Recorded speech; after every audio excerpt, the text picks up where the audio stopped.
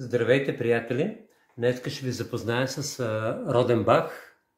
Това е пивоварната, която е собственост на групата Свинкелс. Всъщност Свинкелс Груп е собственост и на марката Латрап. Това е само от любопитство. Така че Роденбах е бленд от лежал ел, който е съчетан с млад ел и 7% червени плодове, които му предават сладко, кисели и плодови нотки. Голямо освежаване пада. Овкусява се добре с купчета лед, парчета лайм, мента и прекрасно за коктейл. Като алкохолен процент е 3,9%.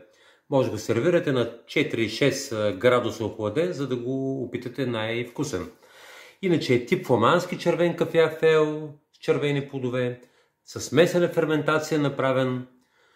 Аромата му е свежен, свеж, искам да кажа, на червени плодове.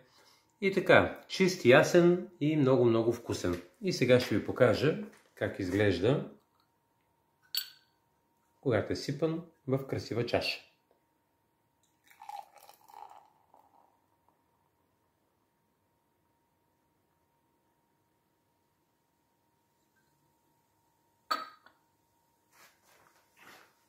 Ето така изглежда тази прекрасна бира, сипана в прекрасната чаша на Литманс.